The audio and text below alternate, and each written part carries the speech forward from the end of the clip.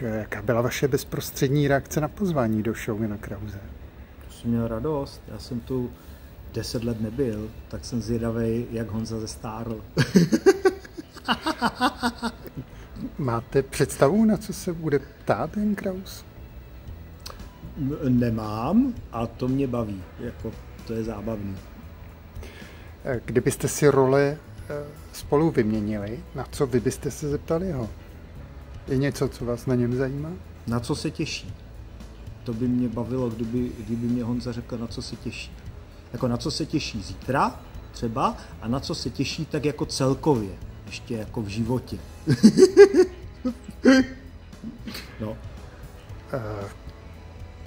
máte trému teď před natáčením? Těšíte se vůbec? Uh, mám trému, těším se. Mm, já mám vždycky trému, když mám veřejně vystoupit, mm, protože se bojím, že budu neakceptovatelný. tak já vám děkuji za odpovědi, přeju příjemný večer, ať se vydaří. Děkuji moc.